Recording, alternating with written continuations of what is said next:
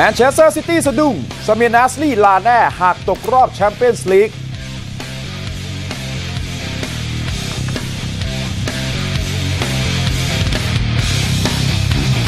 เจมส์นำคาวาเลียร์หยุดสถิติแพ้ 4 เกมรวด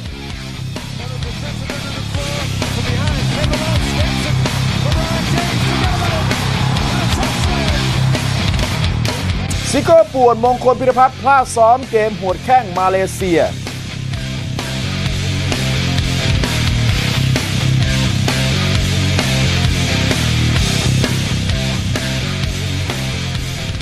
วัสดีครับ สวัสดีครับ ขอต้อนรับคุณผู้ชมเข้าสู่ Sport Today ครับ ช่วงหัวค่ำแบบนี้ครับ เย็นวันอังคารที่ 25 พฤศจิกายนนะครับ เราเจอกัน1ทุ่มครึ่งถึง2ทุ่มครึ่งทาง True Sport 2ครับ วันนี้อยู่กับคุณพินัทจำปาเงินผมธิติบันทองสาครับ ครับ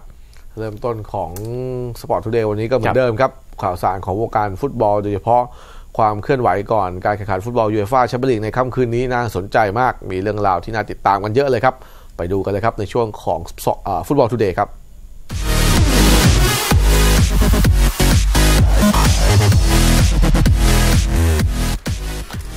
ความเคลื่อนไหวของยูฟ่าแชมเปี้ยนลีกในกลุ่ม G ระหว่างแมนเชสเตอร์ซิตี้กับบาเยิร์นมิวนิกก่อนเกมครับซามีร์ นาสรีมิดฟิลด์ชาวฝรั่งเศสของแมนฯ ซิตี้ออกมาขู่ว่าถ้าทีมไม่สามารถผ่านเข้าสู่รอบต่อไปของยูฟ่าแชมเปี้ยนลีกได้เขาจะขอย้ายออกจากทีมทันทีครับ หากนัดนี้แมนเชสเตอร์ซิตี้เอาชนะบาเยิร์นมิวนิกไม่ได้ พวกเขาจะตกรอบ และจะเป็นการตกรอบแบ่งกลุ่ม 3 ครั้งจาก 4 ครั้งหลังสุดด้วยครับนาสรีบอกว่าตอนนี้นักเตะในทีมเกิน 90%มีค่าจ้างที่สูงมาก ซึ่งบอกว่านักเตะทุกคนเป็นนักเตะ world-class ทั้งนั้นถึงได้มีค่าตัวและค่าเหนื่อยระดับนี้ ดังนั้นมันเป็นไปไม่ได้ถ้าทีมที่มีนักเตะที่มีคุณภาพระดับ world-class แบบนี้มาอยู่รวมกันแล้วไม่สามารถผ่านเข้าสู่รอบ 16 ทีมสุดท้ายของฟุตบอลยูฟ่าแชมเปี้ยนลีกและถ้าในฤดูกาลนี้ทีมตกรอบแบ่งกลุ่มอีก ก็หานักเตะคนใหม่มาแทนที่เขาได้เลยครับ ก่อนเกมมานูเอลเปเยกรินี่กุนซือของแมนซิตี้ก็มีปัญหาให้ปวดหัวเมื่อเซกัวกัวโลกุนและก็สเตฟานยูเบติสสองกองหน้ามีความมีปัญหาเรื่องความฟิตจนไม่ได้ซ้อมกับเพื่อนร่วมทีมนะครับ อย่างไรก็ตามครับเปเยกินี่ไม่ได้กังวลใจอะไรมากครับ เมื่อเปิดเผยว่าทั้งคู่จะมีชื่ออยู่ในทีมที่พบกับไบเยนแน่นอน ไม่ว่าจะเป็นตัวจริงหรือตัวสำรองก็ตาม แต่ยาย่าตุเล่กับ แฟรนันดินโยนั้นลงไม่ได้เพราะติดโทษแบนครับ หมดสิทธิ์ลงเล่นแน่นอน ขณะที่ดาวิดซิลบาแล้วก็อเล็กซานเดอร์โคลาลอฟแล้วก็เอดินเชโกก็มีปัญหาเรื่องอาการบาดเจ็บติดตัวพอสมควรครับ ต้องเช็คกันอีกทีว่าจะลงได้หรือไม่ครับ ขณะที่บาเยิร์นมิวนิกของโจเซฟ กวาร์ดิโอล่านะครับเป๊ปบอกว่าคืนนี้จะได้ลงเล่นสนามที่ถือว่าเป็นหนึ่งในสนามที่ดีที่สุดของอังกฤษ ซึ่งบาเยิร์นถึงแม้ว่าจะเข้ารอบไปแล้ว ก็ไม่ปล่อยให้แมนซิตี้เล่นง่าย ๆ อย่างแน่นอน จะเล่นไปตามเกมเพื่อพัฒนาทีมของเขาต่อไปครับ สถานการณ์ก่อนเกมนี้บาเยิร์นมิวนิกเข้ารอบไปเรียบร้อยแล้วครับ แต่ถ้าหากพวกเขาบุกมาชนะแมนเชสเตอร์ซิตี้ได้อีกก็จะเคลียร์แมนซิตี้ตกรอบทันทีครับเป๊ป กวาร์ดิโอล่าจะขาดผู้เล่นหลายคนที่บาดเจ็บอยู่ครับ ทั้งดาวิดอลาบาโฮลเกอร์บาดสตูเบอร์ ฆาบี้มาร์ติเนซ ติอาโก้ อัลคันทาร่าส่วนในตำแหน่งของฟิลิปลามจะใช้ฆวน เบร์นาตลงเล่นแทนครับ ติดตามการแข่งขันคู่นี้ได้ครับ ทาง True Sport 2อ่าขอประทานอภัยครับ True Sport HD 2 ช่อง 667 แล้วก็2 Sport 1ช่อง 681 ในเวลา 2 นาฬิกา 45 นาทีครับครับ คืนนี้เนี่ยไฮไลท์ที่สำคัญก็คือเกมในกลุ่ม G เนี่ยนะครับซิตี้เล่นกับบาเยิร์นส่วนอีกฝากหนึ่งโรม่าก็จะบุกไปเยือน CSKA มอสโกที่น่าสนใจเนี่ยนะครับ คือพูดถึง ทีมหมาป่าเนี่ยนะครับตอนนี้เนี่ยมีแต้มเท่ากับ CSKA มอสโกนะครับซึ่งอยู่ในอันดับ 2 ของกลุ่มหากพวกเขา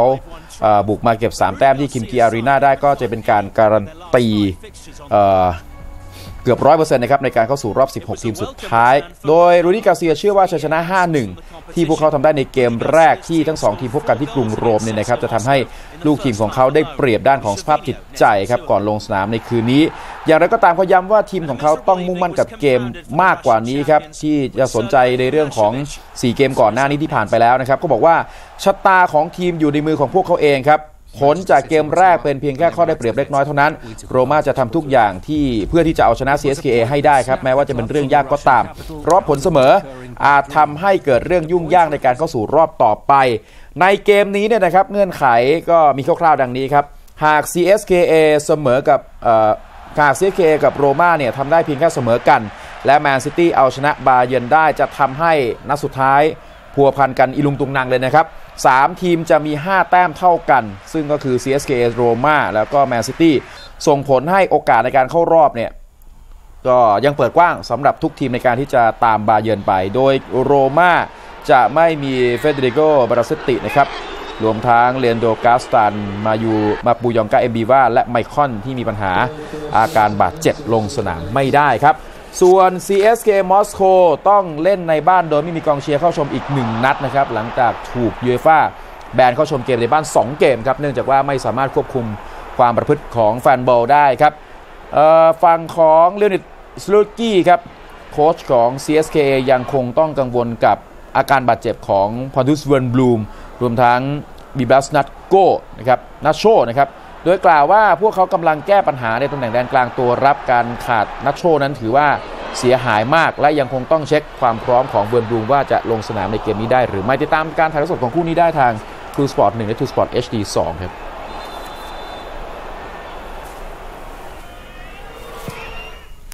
มาต่อที่ความเคลื่อนไหวของอีกคู่หนึ่งครับบาร์เซโลนาที่จะเจอกับอาโปเอลนิโคเซียจากไซปรัสครับความเคลื่อนไหวคู่นี้ ก่อนเกมกุนซือของทั้งสองทีมมีบทสัมภาษณ์ที่น่าสนใจครับ โดยที่จอร์จอสโดดิสกุนซือของอาโปเอลซึ่งจะเล่นในบ้านเป็นเจ้าถิ่นเนี่ยนะครับก็บอกว่าการต้อนรับการมาเยือนของบาร์เซโลนาในเกมนี้ถือว่าเป็นประสบการณ์อันล้ำค่าของพวกเขา การลงเล่นในรายการนี้เปิดโอกาสให้ทีมของพวกเขาได้พบกับทีมยักษ์ใหญ่ของยุโรป พวกเขารู้ดีว่าบาร์เซโลนาแข็งแกร่งแค่ไหนจากการพบกันในเกมแรก แต่ทุกเกมก็มีระดับความเข้มข้นต่างกันออกไปครับ เกมนี้ทีมของเขาได้ลงเล่นในบ้านตัวเอง ต่อหน้าแฟนบอล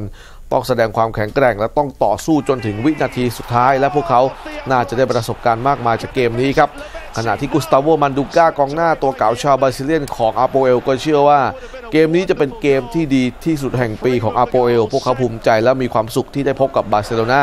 ทั้งนักเตะและแฟนบอลคงจะสนุกกับเกมนี้ ถึงแม้ว่าจะมีความเคารพ และก็ยำเกรงในศักดิ์ศรีของคู่ต่อสู้จากสเปน แต่พวกเขาก็จะพยายามแบ่งแต้มจากบาร์เซโลนาให้ได้ครับขณะที่หลุยส์เอ็นริเก้ครับเทรนเนอร์ของทีมบาร์เซโลนาบอกว่า เขาอยากให้อาโปเอลเล่นเหมือนเกมแรกที่ทั้ง 2 ทีมพบกันที่คัมนูบ้านของบาร์เซโลนาคือเล่นเกมรับให้เหนียวแน่น และสามารถปิดช่องทางการขึ้นบอลของบาร์เซโลนาได้หมด ส่วนบาซ่าของเขาก็จะเล่นเกมบุกเหมือนเดิมครับ ขึ้นอยู่กับว่าเมื่อทีมของเขาบุกแล้ว คู่ต่อสู้จะเล่นเกมรับได้ดีขนาดไหน และจะสามารถต้านทานเกมรุกที่ทรงประสิทธิภาพของบาซ่าได้ นานขนาดไหนนะครับ ซึ่งเขาต้องการให้บาซ่าจบรอบนี้ด้วยตำแหน่งแชมป์ของกลุ่ม ดังนั้นชัยชนะจากทุกเกมมีความสำคัญเท่ากันหมดครับ นอกจากนั้นเอลิเก้ยังบอกว่าทีมได้ก้าวผ่านสถานการณ์ที่เลวร้ายมาได้แล้วครับ ทุกทีมล้วนมีปัญหาทั้งนั้นและต้องพยายามเอาชนะปัญหาให้ได้ เขาพอใจใน 3 เกมรุกของทีมในตอนนี้ซึ่งประกอบไปด้วยหลุยส์ซัวเรสเนย์ม่าร์ และก็ลีโอเนลเมสซี่นะครับ ทั้ง 3 คนทำผลงานกันได้อย่างลงตัว ซึ่งทั้งเนย์ม่าร์และเมสซี่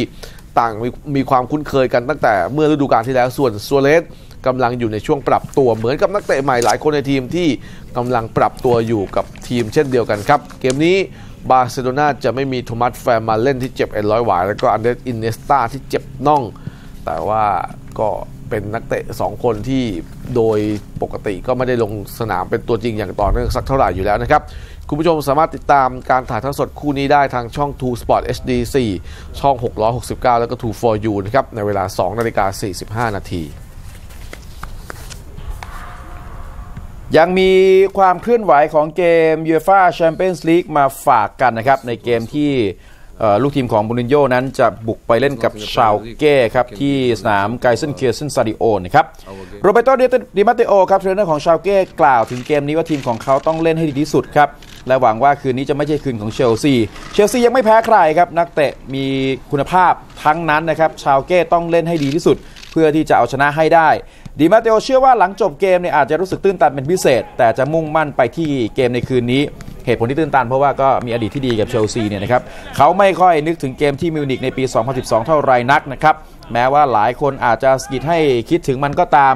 ในปีนั้นก็พาเชลซีคว้าแชมเปี้ยนส์ลีกเนี่ยนะฮะครับเขาทำงานที่เชลซีมาหลายปีครับรู้จักหลายคนที่นั่นรวมถึงนักเตะบางคน แต่เป็นเรื่องส่วนตัวครับไม่เกี่ยวกับงานปัจจุบัน หากชาลเก้ชนะในเกมนี้จะได้ 3 แต้ม แล้วก็จะอยู่ในตำแหน่งที่ดีในกลุ่มนี้ครับชาลเก้ไม่มีทางเซอัดโคลาซินัคนะครับเจ็บเข่ายูเลียนดรักซ์เลอร์เอ็นร้อยหวายเจฟเฟอร์สันฟาฟานเจ็บเข่ารวมทั้งชิเนดูโอบาซี่เจ็บหน้าแข้งครับฟากของเชลซีเนี่ยโชเซ่มูรินโญ่กล่าวว่าเขามาที่เยอรมนีเพื่อพาทีมเก็บ 3 แต้มไม่ได้มาพูดถึงเรื่องของโรแบร์โตดิมาเตโอนะครับเป็นเรื่องดีมากหากพวกเขาเนี่ยสามารถเอาชนะเข้ารอบในเกมนี้ได้ เพราะว่าต้องเล่นอีกถึง 8 เกมในเดือนหน้าครับแต่ถ้าเอาชนะไม่ได้ ก็ยังไม่ได้การันตีในการผ่านเข้าสู่รอบต่อไปเนี่ยนะครับก็ยังมีเกมกับสปอร์ติ้งรออยู่ นอกจากนี้มูรินโญ่เชื่อว่าทีมของเขากำลังเล่นได้ดีครับ อาจจะมีผลเสมอบ้างในบางเกม แต่ก็เป็นเกมที่เกือบจะเอาชนะได้ทั้งนั้นนะครับสำหรับเกมรุกอย่างดิเอโก้คอสตาเนี่ยมูรินโญ่เชื่อว่าหากไม่มีเพื่อนช่วยกันเล่นคอสตาก็ไม่มีประโยชน์ครับเขาเล่นดีและทำประตูได้ก็จริง แต่คงไม่แฟร์นักที่จะพูดถึงคอสตาเพียงคนเดียวมูรินโญ่พยายามจะบอกว่าให้พูดถึงเรื่องสวยโดยรวมของทีมครับ เชลซีไม่มีปัญหาเรื่องนักเตะบาดเจ็บ นักเตะตัวหลักลงสนามได้ครบครับ นัดนี้ถ่ายทอดสดทาง True Sport HD 1แล้วก็ True Sport 3 ตอนตี2 45 คืนนี้ครับ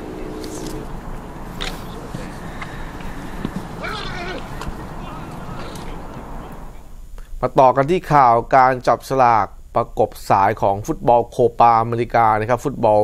ชิงแชมป์แห่งทวีปอเมริกาใต้นะครับซึ่งก็มีทีมดัง ๆ ทั้งบราซิลอาร์เจนตินา อุรุกวัยอยู่ในการแข่งขันรวมทั้งมีทีมรับเชิญด้วยครับอาร์เจนตินาโดนจับสลากให้ไปอยู่ในกลุ่มเดียวกับอุรุกวัยในศึกโคปาอเมริกา 2015 ซึ่งชิลีจะเป็นเจ้าภาพครับ โดยจะมีเม็กซิโกและจาเมกาเป็นทีมรับเชิญ ซึ่งทั้งสองทีมเป็นทีมจากอเมริกาเหนือนะครับ การจับสลากแบ่งสายมีเมื่อช่วงเช้าที่ผ่านมาตามเวลาประเทศไทยที่วินาเดลมาร์ประเทศชิลีครับ ผลการจับสลากปรากฏว่าในกลุ่ม A เนี่ยก็มีชิลี เม็กซิโก เอกวาดอร์ แล้วก็โบลิเวียนะครับ สาย B ก็มีอาร์เจนตินาอุรุกวัย แชมป์เก่า ปารากวัย แล้วก็จาเมกา ขณะที่กลุ่ม C ประกอบไปด้วยบราซิล โคลอมเบีย เปรู แล้วก็เวเนซุเอลาครับสำหรับรายการนี้ อุรุกวัยเป็นทีมที่ประสบความสำเร็จมากที่สุดด้วยดีกรีแชมป์ 15 สมัย แต่ว่าในทัวร์นาเมนต์ครั้งหน้า พวกเขายังไม่มีหลุยส์ซัวเรส ที่ยังคงต้องชดใช้โทษแบนจากสหพันธ์ฟุตบอลนานาชาติ หรือว่าฟีฟ่าในการห้ามลงเล่นเกมอย่างเป็นทางการของทีมชาติต่อไปครับสำหรับการแข่งขันจะมีขึ้นในวันที่ 11 มิถุนายน ไปจบวันที่ 4 กรกฎาคมปีหน้าทรูวิชั่นส์ของเราถ่ายทอดสดด้วยนะครับ ในช่วงในช่วงแรกเราคุยกันเรื่องของฟุตบอลนะครับ ยังมีข่าวคราวในวงการฟุตบอลให้ติดตามอีกเยอะเลยครับ ติดตามในสรุปข่าวครับ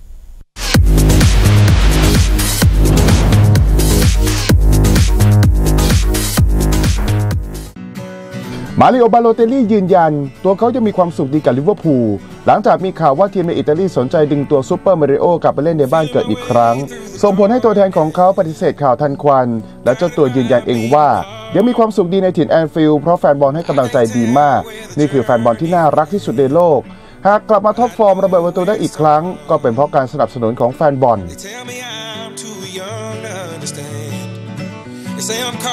เอเย่นต์ของเชอร์ดานชาคิรีกองกลางทีมชาติสวิตเซอร์แลนด์ยืนยัน เจรจากับนาโปลีตามที่ตกเป็นข่าวจริง แต่บาเยิร์นมิวนิกคงไม่ปล่อยชาคิรีย้ายแบบยืมตัว เพราะเงื่อนไขที่นาโปลีต้องการคือยืมตัวชาคิรีเท่านั้นยูริเซสซาวินีตัวแทนของชาคิรีเปิดเผยอีกว่านักเตะของเขาไม่ใช่ปีกแบบอินซินเย่แต่จะคล้ายกับดรีสเมอร์เตนส์มากกว่า ดังนั้นหากนาโปลีขาดโฆเซกาเยคอน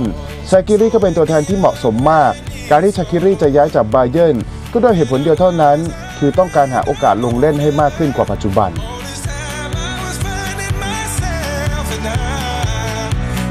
รัสเซียเจ้าภาพ World Cup 2018 มีสิทธิ์ตัดเมืองคาลินินกราดหนึ่งใน 11 เมืองที่ถูกเสนอตัวจัดฟุตบอลโลกออกจากการแข่งขัน หลังจากที่วิตาลีมุตโกรัฐมนตรีว่าการกระทรวงกีฬาของรัสเซียออกมาให้ความคิดเห็นเกี่ยวกับเรื่องนี้ว่า เจ้าหน้าที่ท้องถิ่นของเมืองไม่ชัดเจนในการสร้างสนามคาลินินกราด Stadium ด้วยความจุ 35,000 ที่นั่ง โดยต้องการสร้างสนามแบบใหม่บนเกาะ แต่มุตโก้้มองว่างบประมาณน่าจะสูงเกินไป ด้วยความล่าช้าเรื่องสนามคือปัจจัยที่สำคัญในการตัดเมืองนี้ออกจากแผนการจัดฟุตบอลโลก เพราะรัสเซียไม่อยากมีปัญหาด้านความล่าช้าของการสร้างสนาม ที่สำคัญก่อนหน้านี้เซปป์แบลตเตอร์เคยวิจารณ์ว่าจำนวนเมืองที่ใช้จัดการแข่งขัน 10 เมืองก็น่าจะเพียงพอแล้ว ไม่จำเป็นต้องมีเมืองที่ 11 แต่มีสนามเพียงแค่ 12 สนาม แต่ทั้งนี้หากจะมีเมืองไหนถูกตัดสิทธิ์ออกไป เมืองที่ได้รับการคาดหมายว่าจะเข้ามาแทนที่ก็คือเมืองคราสโนดาร์ที่มีสนามฟุตบอลพร้อม โดยมีขนาดถึง 36,000 ที่นั่งรออยู่แล้ว